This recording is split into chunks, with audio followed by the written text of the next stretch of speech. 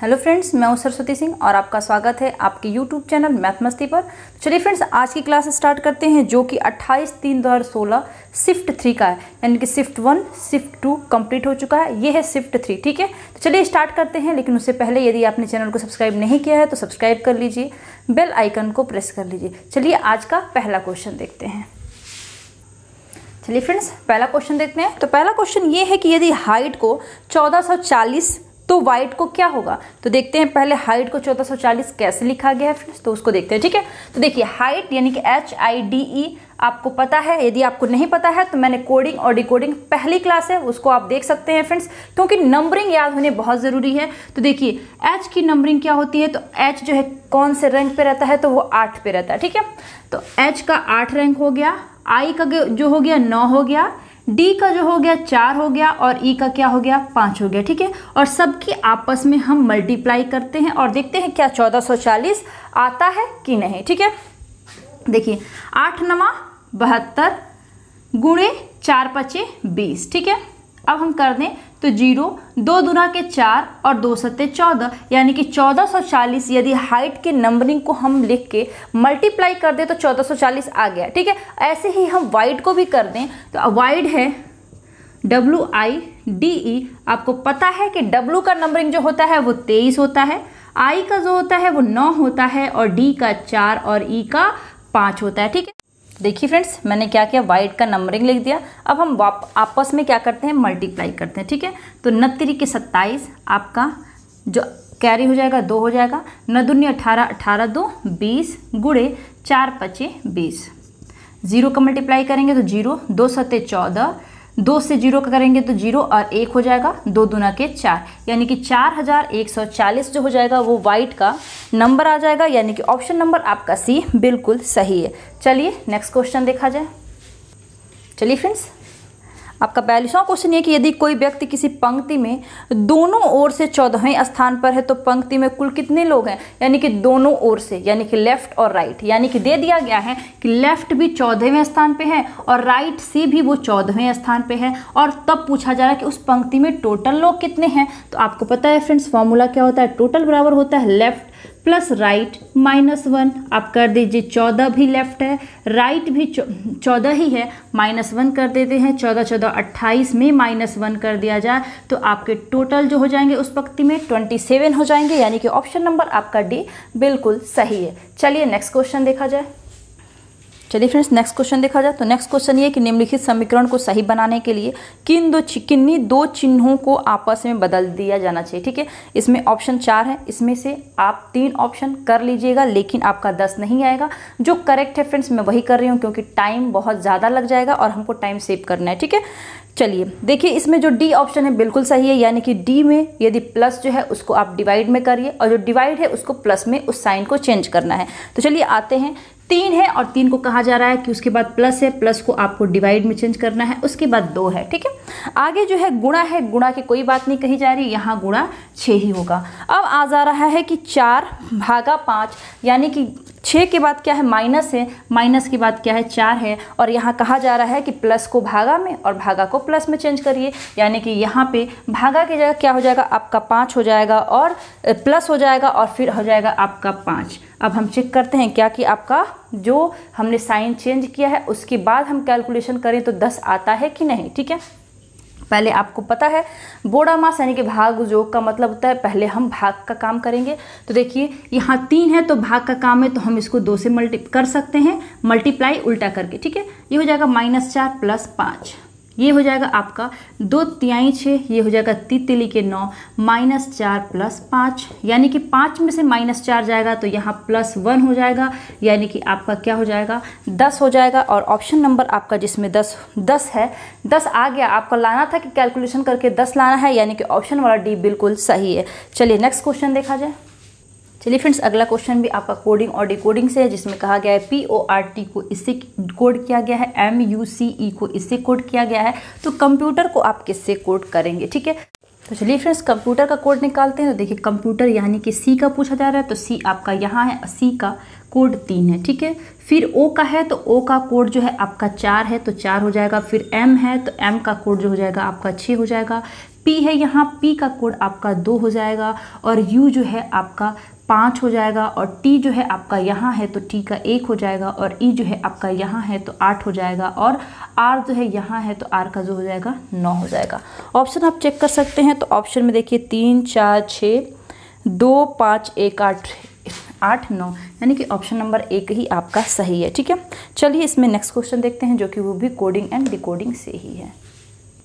चलिए friends next question जो है आपका पैंतालीसवा जो है, यदि J E S U S को E Z N P N कोडित किया जाए तो जैक को निश्चित कोड भाषा में कैसे किया जाएगा? ठीक है, ये पूछा जा रहा है दोस्तों। तो चलिए देखते हैं कि जे से ये कोड किया गया, उसके बाद ये आ रहा है यानी कि जे को आप ई से कोड किया गया, जैसे लग रहा है जे की नंबरिंग फ्रेंड आपको पता है तो ठीक है, नहीं तो आप लिख सकते हैं। जे का दस होता है ई का पाँच होता है एस का उन्नीस होता है यू का आपका इक्कीस होता है और एस का उन्नीस होता है। वैसे ही यहाँ पर यू का पाँच हो जाएगा। जेड का 26, एन का 14, पी का 16 और एन का 14 होता है। ठीक है फ्रेंड्स? यानी कि 10 के बाद आपका 5 आ रहा है यानी कि इसके बीच क्या किया जा रहा है? माइनस पाँच घटाया जा रहा है। तभी तो 10 में से 5 घटेगा तो 5 आ जा रहा है। ठीक है? फिर देखिए यहाँ पाँच है और पाँच इसमें घटाने पे क्या हो जा रहा है? यदि पाँच में से पाँच घटा दिया जाए तो लास्ट में यानी कि जेड आ जा रहा है यानी कि यहाँ भी आपका माइनस पाँच घटाया गया है। ठीक है? यहाँ पे आप चेक कर लीजिए कि यहाँ माइनस पाँच घटा है कि नहीं। तो उन्नीस में से माइनस पाँच घटेगा तो चौदह आएगा। बिल्कुल सही है, आपका यहाँ चौदह आया है। फिर यहाँ है ये इक्कीस और इक्कीस में से पाँच जाएगा तो सिंपल सी बात है, सोलह ही आएगा और यहाँ है सोलह ही। यहाँ है उन्नीस और उन्नीस में से पाँच, माइनस पाँच जाएगा तो सिंपल सी बात है कि यहाँ भी चौदह आएगा। यानी कि इतना ये हो गया कि जो कोड किया गया है, वो माइनस पाँच करके किया गया है, ठीक है? तो सिंपल सी बात है, इसको भी ऐसे ही किया जाएगा, यानी कि जे का यदि हम नंबरिंग लिखें तो दस हो जाएगा, ए का एक हो जाएगा, सी का तीन हो जाएगा, के का ग्यारह हो जाएगा, ठीक है? यदि फ्रेंड्स, दस में से हम पाँच घटा दें तो क्या आएगा? पाँच आएगा और पाँच जो नंबर होता है, उस जगह पे जो अल्फ़ाबेट होते हैं, वो ई होता है। यानी कि पाँच जो होता है, अल्फ़ाबेट ई होता है। देखिए फ्रेंड्स ऐसे ही यदि आप ए को, ए में से पाँच को हटाइए तो क्या आएगा? यदि पहला घटाएँगे तो जेड, फिर वाई, फिर एक्स, फिर आपका डब्लू, फिर यू आ जाएगा। यानी कि आपका यहाँ पाँच घटाने पर क्या आ जाएगा? आपका यू आ जाएगा। फिर यदि सी में से आप पाँच घटाएँगे तो क्या आएगा? तो सी में से पाँच घटाएँगे तो फिर बी, फिर ए फिर जेड, फिर वाई, फिर आपका एक्स पाँच घटाने पर आपका क्या आ जाएगा? एक्स आ जाएगा। वैसे ही यदि के, ग्यारह में से यदि आप माइनस पाँच घटाएँगे तो ग्यारह में से पाँच घटेगा तो छः आएगा और छः जो होता है आपके एफ़ के स्थान पे होता है, ठीक है? यदि ऑप्शन आप चेक करेंगे तो ई वी एक्स एफ़ यानी कि ये वी है, ठीक है? यू मत समझिएगा, ये आपका बी है। तो ई वी एक्स एफ़ जो होता है आपका, ये आपका सही है, यानी कि ऑप्शन नंबर बी आपका बिल्कुल करेक्ट है। चलिए नेक्स्ट क्वेश्चन देखा जाए। चलिए फ्रेंड्स नेक्स्ट क्वेश्चन देखिए अर्थमेटिकल कैलकुलेशन से तो इसमें दिया गया प्रतीकों के सही सेट चयन करें। यानी कि इसमें जो है, कहीं प्लस भाग जोड़ दिया गया, कैसे किया जाए, इसमें वो साइन रखा जाए कि चौदह आ जाए, ठीक है? तो तीन में कर नहीं रही हूँ, जो आंसर है वही कर रही हूँ, जिसमें कि डी ऑप्शन आपका बिल्कुल सही है। तो चलिए करके देखते हैं। तो यानी कि पहले लिखा गया है सात, ठीक है? डी ऑप्शन में क्या है कि पहला प्लस है, यानी कि उसके बाद हम प्लस करेंगे। फिर लिखा गया है सात। फिर सात के बाद हम क्या लिखेंगे? इंटू यानी कि गुणा लिखेंगे। फिर लिखा गया है क्या है? सात। और उसके बाद हम क्या लिखेंगे? उसके बाद हमको लिखना है भाग। ठीक है? फिर उसके बाद आपका सात है। और इसको ऐसा कैलकुलेट किया जाए कि आपको चौदह आना चाहिए फ्रेंड्स तो देखिए, पहले हम भाग करेंगे, फिर गुणा, फिर जोड़, फिर घटाना। यानी कि सात से सात कट जाएगा तो क्या हो जाएगा? आपका एक हो जाएगा। फिर ये सात प्लस सात एक कम सात होगा और ये सात सात क्या हो जाएगा? चौदह हो जाएगा। यानी कि बिल्कुल डी ऑप्शन आपका बिल्कुल सही है। चलिए नेक्स्ट क्वेश्चन देखा जाए। चलिए फ्रेंड्स ये आपका कुछ स्टैंडर्ड सीरीज़ दिया गया है। उस सीरीज़ को सॉल्व करते हैं जो कि आपके सामने है कि ट्रेंगल है, फिर वर्ग है, इसका मल्टीप्लाई करने के बाद आपका 48 आएगा, फिर यहाँ आपका गोला है, फिर आपका यहाँ त्रिभुज है। इसका मल्टीप्लाई किया गया तो 24 आया, फिर यहाँ आपका चतुर्भुज है और इसमें गोला का मल्टीप्लाई किया गया तो 8 आएगा, ठीक है? लेकिन अब पूछा जा रहा है कि अब चतुर्भुज को ट्रैंगल यानी कि त्रिभुज में मल्टीप्लाई किया जाए तो क्या आगा, क्या आएगा, ठीक है? तो चलिए फ्रेंड्स देखते हैं कि यदि हम त्रिभुज और वर्ग का क्या क्या वैल्यू रखें कि अड़तालीस आएगा। तो देखिए फ्रेंड्स यदि हम त्रिभुज का जो है वैल्यू हम छः रख दें और वर्ग का आठ रख दें तो छः अठे अड़तालीस आपका हो जाएगा, ठीक है? अब देखिए यदि यहाँ चौबीस है तो देखिए यहाँ हमको पता है कि मैंने त्रिभुज का क्या वैल्यू रखा था तो छः रखा था। यानी कि यहाँ तो हम छः रखेंगे, क्योंकि पहले ही हम त्रिभुज का वैल्यू जो था, हम छः रखे थे तो यहाँ छः रखेंगे। अब छः में किस चीज़ का, किस डिजिट का गुणा करें कि वो चौबीस आएगा? यानी यदि आप चार का गुणा करेंगे तो चार छः के चौबीस हो जाएगा, ठीक है? यहाँ है देख फ्रेंड्स आपका चतुर्भुज है और गोला है। गोला आपको पता है कि गोला आपने चार रखा है, यानी कि सेकेंड डिजिट पर आपका चार हो जाएगा। फिर चार का किसमें गुणा करा जाए कि आठ होगा तो दो में करिए तो यहाँ हो जाएगा चार दुना के आठ, ठीक? ये भी हो गया। अब देखिए आपको सारे जो आपके दिए गए थे ट्रायंगल स्क्वायर या सर्कल। सबके वैल्यू पता है, आप वहाँ से कर सकते हैं, यानी कि ये है चतुर्भुज। चतुर्भुज की वैल्यू क्या है यहाँ पे दोस्तों? तो दो है, यहाँ दो हो जाएगा। और ट्रेंगल ट्रेंगल की वैल्यू हमने क्या रखा है? छः रखा है तो यहाँ छः रखेंगे, यानी कि इसकी वैल्यू जो हो जाएगी आपकी बारह हो जाएगी। यानी ऑप्शन चेक करेंगे तो ऑप्शन बी आपका बिल्कुल सही है। चलिए, अगला क्वेश्चन देखा जाए। चलिए फ्रेंड्स, अगला क्वेश्चन भी आपका सीरीज़ से तो सीरीज़ देखते हैं कि 26 है। फिर उनतीस है, फिर तैंतीस है, फिर अड़तीस है, फिर क्वेश्चन मार्क्स है, फिर इक्यावन है। यानी कि क्वेश्चन मार्क्स से जब क्या होगा तो देखिए छब्बीस से उनतीस कैसे हो जा रहा है? यदि छब्बीस में हम तीन जोड़ते तो उनतीस आएगा। फिर यदि उनतीस में हम चार जोड़ दे तो तैंतीस आएगा। और तैंतीस में हम पाँच जोड़ दे तो अड़तीस आएगा। और अड़तीस अड़तीस में यदि हम छः जोड़ दें तो क्या आ जाएगा आपका? चौवालीस आ जाएगा। और चौवालीस में हम सात जोड़ दें तो सात, चार ग्यारह, और चार एक, पाँच एक हो जाए, चार और एक, पाँच यानी कि इक्यावन हो जाएगा। यानी कि आपके क्वेश्चन मार्क्स की जगह पे क्या आएगा? चौवालीस आएगा, यानी कि प्लस तीन, चार, पाँच का ऐसे ही इंक्रीमेंट हो रहा है, ठीक है? यानी कि ऑप्शन चेक करेंगे तो ऑप्शन आपका बी बिल्कुल सही है। चलिए अगला क्वेश्चन देखा जाए। चलिए फ्रेंड्स अगला क्वेश्चन भी है आपका अर्थमेटिकल कैलकुलेशन से। तो क्वेश्चन ये है कि यदि भागा का अर्थ माइनस है, गुणा का अर्थ प्लस है माइनस का अर्थ गुणा है एवं प्लस का अर्थ जो है भागा भागा है तो सात गुणे तीन प्लस दो माइनस छः भागा चार का मान बताएँ, ठीक है? तो चलिए आते हैं हम लोग क्वेश्चन पे। तो देखिए, सात दिया गया है, लेकिन हमको चेंज करना है, गुणे का अर्थ क्या है तो गुणे का अर्थ क्या है, आपका प्लस है, ठीक है? प्लस लिखा, उसके बाद आपका तीन दिया गया है और तीन के बाद क्या है, आपका प्लस दो है। तो ये चेक करना है कि प्लस का अर्थ क्या होगा तो प्लस का अर्थ इसमें दिया गया है भागा, ठीक है? ये आपका भागा हो गया, उसके बाद क्या है? दो है, और इसको कर दिया गया है कोष्टक में।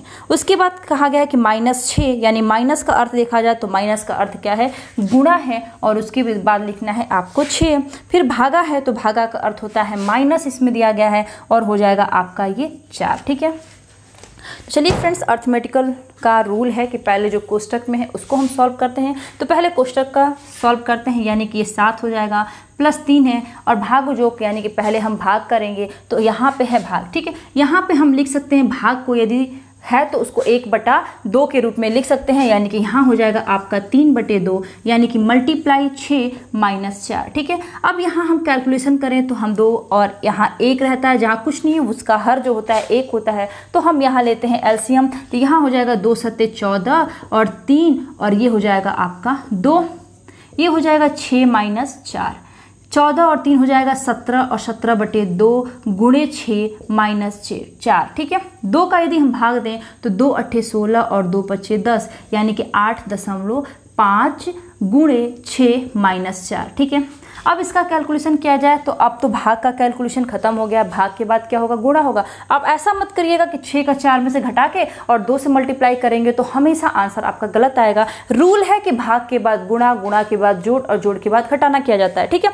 तो फिर पहले यहाँ गुणा है तो पहले हम गुणा करते हैं तो छः पचे तीस हो जाएगा। आठ छक अड़तालीस और अड़तालीस अड़तालीस तीन आपका इक्यावन हो जाएगा। और दशमलव जो है एक अंक के बाद लगा है तो आप दशमलव एक अंक के बाद लगा देंगे, ठीक है?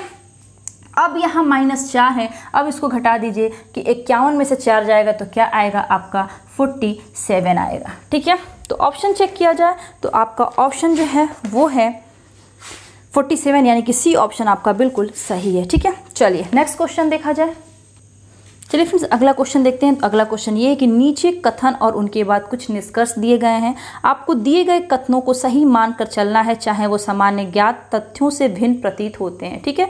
कथन ये है कि युवा बहुत महत्वाकांक्षी हैं। युवा जो है, बहुत महत्वाकांक्षी हैं। दूसरा है, बहुत सारे बुरे लोग युवा पीढ़ी को बिगाड़ रहे हैं, ठीक है? दो स्टेटमेंट दिया गया, इसी से हमको निष्कर्ष निकालना है। अपने मन से कोई भी निष्कर्ष नहीं लेना है। आपको जो स्टेटमेंट दिया गया, उसी से हमको पॉजिटिव यानी कि स्ट्रॉन्ग जो है आपका क्या कंक्लूजन है, वही देखना रहता है, ठीक है?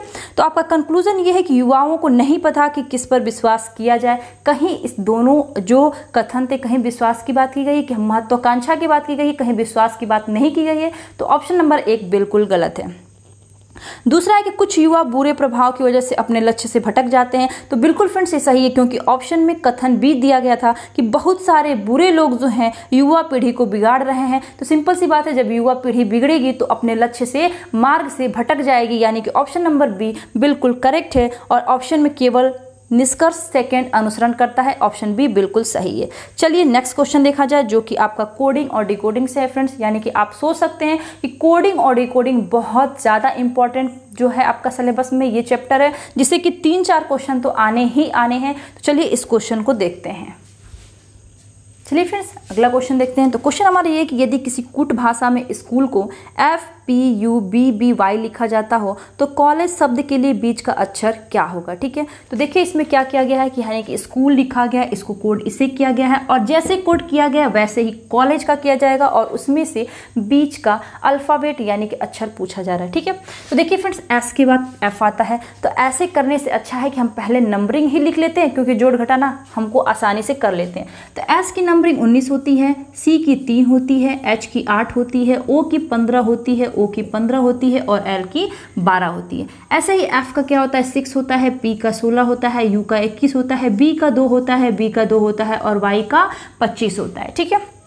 देखिए फ्रेंड्स क्या किया गया है कि 19 से 6 हो गया है? इसमें हम ये करेंगे कि 19 से 6 क्या किया गया है कि हो गया है? यानी कि कुछ तो उसमें घटाया गया है, यानी कुछ तो सब्सट्रक्शन किया गया है, जिससे कि बड़ा डिजिट जो है छोटा हो गया है। यानी कि यहाँ 19 था, यहाँ 6 है। यानी 19 में से यदि हम 13 को घटा दें तो 6 आ जाएगा। 19 को यदि हम 13 घटा दें तो आपका 6 आ जाएगा। बिल्कुल सही है, ठीक है? देखते हैं कि यही प्रोसेस आगे वाला जो अल्फ़ाबेट है वो काम करता है कि नहीं करता है। तो देखिए सी क्या है? तीन है, उसके बाद सोलह आ गया है तो सी में से यदि हम माइनस तेरह कर दे फ्रेंड्स तो क्या आएगा? तो देखिए सी में से यदि आप माइनस तेरह करेंगे तो आपका क्या हो जाएगा? तेरह घटाएँगे तो आपका सोलह पे ही आएगा। तेरह के बाद क्या आएगा? बी आएगा। सी में से यदि हम तेरह घटाएँगे तो पहले बी फिर उसके बाद ए फिर जेड फिर वाई फिर आपका आएगा एक्स फिर डब्लू फिर वी यू फिर आपका आएगा टी और उसके बाद आएगा आपका क्यू टी के बाद क्या आएगा? सॉरी टी के बाद आपका एस आएगा एस के बाद आर आएगा और आर के बाद आपका जो आएगा वो क्यू आएगा और क्यू के बाद पी आएगा। यानी कि आपने तेरह घटा दिया तो क्या आएगा? आपका पी आ जाएगा, ठीक है? तो वैसे ही फ्रेंड्स यदि आठ में से तेरह घटाएँगे तो इक्कीस कैसे आएगा? यदि आठ में से आठ घटा दिए तो आपका आ जाएगा जेड पे आ जाएँगे और जेड में से हम पाँच घटा देंगे, यानी कि छब्बीस में से पाँच घटाएँगे तो इक्कीस आएगा और इक्कीस जो होता है वो यू का नंबरिंग होता है, यानी कि यू आ गया। अब देखिए, यहाँ है पंद्रह और पंद्रह में से हम माइनस तेरह को घटा दें तो माइनस पंद्रह में से तेरह घटा देंगे तो क्या आएगा? आपका दो आएगा और दो बी का नंबरिंग होता है। फिर वैसे ही सेम है, पंद्रह में से यदि आप माइनस तेरह घटा देंगे तो आपका बी आ जाएगा। वैसे ही बारह में यदि आप माइनस तेरह कर देंगे, बारह में यदि माइनस तेरह कर देंगे फ्रेंड्स तो बारह बारह घट के जेड पे आ जाएगा। जेड में एक घटा देंगे तो क्या आ जाएगा? आपका वाई आ जाएगा। सेम वैसे ही कैलकुलेट करना है, जैसे कि आपने किया है। वैसे यदि हम माइनस तेरह कर देंगे तो सी में से माइनस तेरह घटाएँगे तो यहाँ पे आपका आ जाएगा पी जैसे कि यदि आपको थोड़ा सा पहला क्वेश्चन कर लिए तो आप यहाँ से भी कर सकते हैं कि हाँ हम सी में से माइनस तेरह घटाए तो क्या आ गया? पी आ गया, ठीक है? ओ से यदि हम माइनस तेरह करते हैं ओ से यदि हम माइनस तेरह कर देते हैं तो माइन ओ से हम यहाँ भी किए थे माइनस तेरह। यानी कि ओ से माइनस तेरह करेंगे तो आपका बी आ जाएगा। एल में माइनस तेरह करा जाए एल में क्या है आपका? माइनस तेरह किया जाए तो एल में हम माइनस तेरह किए हैं तो क्या आ गया था? वाई आ गया था, यानी कि यहाँ भी हम माइनस तेरह कर दें तो यहाँ भी वाई आ जाएगा। फिर देखिए, यदि ई की बात की जाए तो ई में से यदि हम तेरह घटाएँगे फ्रेंड्स तो ई में से तेरह पाँच घटा देंगे तो यहाँ इधर आ जाएँगे हम। फिर आठ घटा देंगे तो यदि छब्बीस में से आठ जाएगा तो आपका क्या आएगा? आपका छब्बीस में से आठ जाएगा तो आपका आ जाएगा अट्ठारह यानी कि आ जाएगा आपका क्या? आर ठीक है? फिर वैसे ही यहाँ है सात, सा, जी का रैंकिंग क्या होती है? आपकी सात होती है और सात में से यदि आप तेरह घटा देंगे तो इधर सात हम घटा दिए तो आ जाएँगे हम लोग जेड पे। फिर सात सात, पाँच, बारह, यानी कि सात, छः छः और घटा देंगे तो क्या छब्बीस में से छः घटा देंगे तो क्या आ जाएगा आपका बीस और बीस जो होता है आपके टी पे होता है, ठीक है? वैसे ही यदि पाँच में से हम माइनस तेरह घटा दें तो सिंपल सी बात है कि यदि अब यहीं हम ई में से पाँच घटा देंगे तो क्या हो गया है? आपका आर हो गया है तो ऑप्शन आइए चेक कर लेते हैं। तो आपका ऑप्शन यही पूछा गया है कि बीच में कौन सा है। तो देखिए, ये ये हो जाएगा ये हो जाएगा। बीच में क्या होगा? आपका वाई हो जाएगा, यानी कि ऑप्शन नंबर आपका डी बिल्कुल सही है। चलिए फ्रेंड्स अगला क्वेश्चन देखा जाए तो अगला क्वेश्चन ये है कि सत्तर व्यक्तियों की किसी पार्टी में बावन अंग्रेज़ी बोल सकते हैं और तथा छब्बीस फ्रेंच बोल सकते हैं। बावन जो लोग हैं, आपके जो हैं, वो अंग्रेज़ी बोल सकते हैं।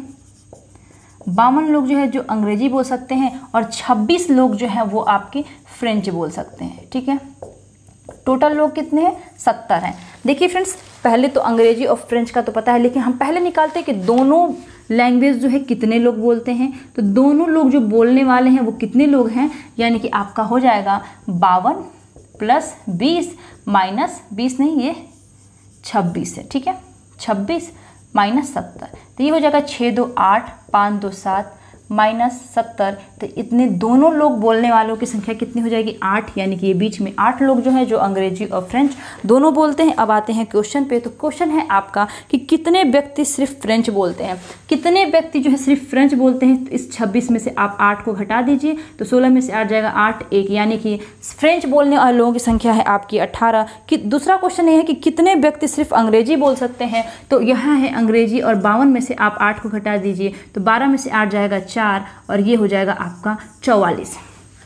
यानी कि अंग्रेज़ी बोलने वालों की संख्या कितनी हो जाएगी? चौवालीस, यानी कि ऑप्शन ए सही है। और तीसरा क्वेश्चन है, कितने व्यक्ति अंग्रेज़ी और फ्रेंच दोनों बोल सकते हैं? तो मैंने पहले ही निकाल दिया कि दोनों जो बोलेंगे, वो आठ लोग होंगे, ठीक है? चलिए नेक्स्ट क्वेश्चन देखा जाए।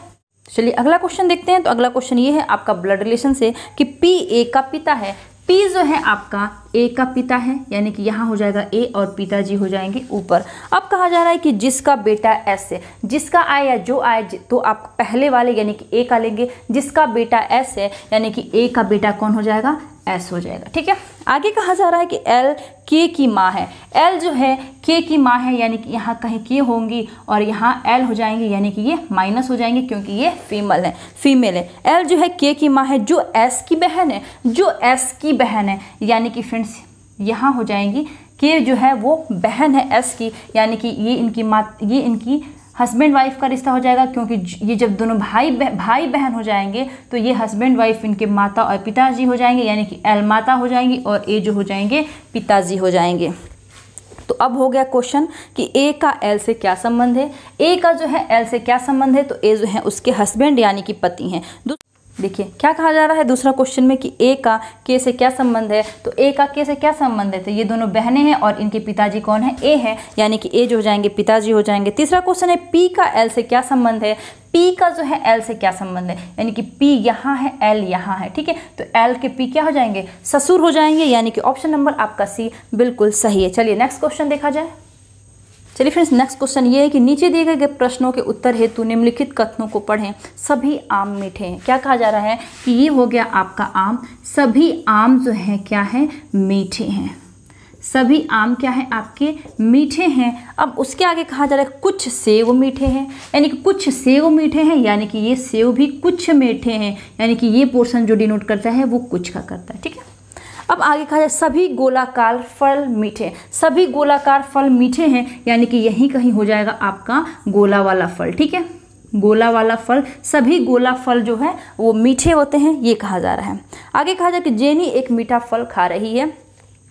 अब क्वेश्चन है कि निम्न में से कौन सा अनुमान निश्चित रूप से सत्य है? जेनी एक सेब खा रही है, ये नहीं, जेनी एक मीठा फल खा रही है। तो देखिए फ्रेंड्स, ये डाउट है कि सेब कुछ सेव तो मीठे हैं, लेकिन आप ये नहीं कह सकते, कुछ सेव मीठे हैं तो कुछ खट्टे भी होंगे, तभी तो कुछ आया है। यानी कि कुछ सेव आपके खट्टे भी हो सकते हैं, यानी कि ऑप्शन नंबर जेनी एक सेब खा रही है, एक मीठा फल खा रही है, लेकिन वो हम नहीं कह सकते कि वो सेब ही होगा, ठीक है? यानी कि ऑप्शन नंबर ए बिल्कुल गलत है। दूसरा है, जेनी को नींबू पसंद है नींबू पसंद नहीं है, यानी कि नींबू की तो कहीं ज़िक्र ही नहीं करी करी गई है, यानी कि ऑप्शन बी बिल्कुल गलत है। तीसरा है कि जेनी एक नारंगी खा रही है तो नारंगी की भी ज़िक्र नहीं हुई है, यानी कि ये भी गलत है। और चौथा क्वेश्चन है, जेनी जेनी जो है आम खा रही है, इसका संभावना सबसे ज़्यादा है। बिल्कुल फ्रेंड्स जेनी जो है आम खा रही है क्योंकि पूरा आम मीठा है। पूरा आम मीठा है, कहीं खट्टी नहीं है, क्योंकि ऑप्शन पहले ही कहा गया स्टेटमेंट में कि पूरा आम मीठा है तो मीठा आम जो है हो सकता है गोला है। गोला होगा और पूरा आम मीठा है, यानी कि जेनी जो है मीठा फल, यानी कि आम खाने की संभावना ज़्यादा है। ऑप्शन नंबर डी बिल्कुल सही है। चलिए इस शिफ्ट का, यानी कि थर्ड शिफ्ट का लास्ट क्वेश्चन देखते हैं। चलिए फ्रेंड्स लास्ट क्वेश्चन देखते हैं। तो लास्ट क्वेश्चन ये कि इनमें से विषम विषम पद को चुनिए। जैसे कि ऑप्शन है G M T U T C E D T B M I तो इसमें जो आपका ऑप्शन चौथा है, गलत है। क्योंकि फ्रेंड्स देखिए जी एम टी का मतलब होता है Greenwich mean type UTC का मतलब टाइम होता है। Greenwich mean time UTC का होता है यूनिवर्सल टाइम कोऑर्डिनेट और ईडीटी का होता है स्टैंड डे लाइट टाइम आप इसको थोड़ा चेक कर लीजिएगा, मुझे थोड़ा याद नहीं आ रहा था। तो ईडीसी का होता है स्टैंड डे लाइट टाइम और बीएमआई का होता है medical definition of body mass index देखिए, तीन जो ऑप्शन है वो टाइम से रिलेटेड तीन जो ऑप्शन जो है वो टाइम से रिलेट है और चौथा ऑप्शन जो है वो आपका इंडेक्स से है। तो यही आपका चारों ऑप्शन में से भिन्न है। यानी कि ऑप्शन नंबर डी बिल्कुल करेक्ट है। चलिए फ्रेंड्स आज का तीसरा शिफ्ट भी शिफ्ट भी कंप्लीट कर दिया गया। यदि आपको क्लास अच्छी लगे तो लाइक शेयर कमेंट ज़रूर करिएगा। मिलते हैं नेक्स्ट क्लास में। Thank you friends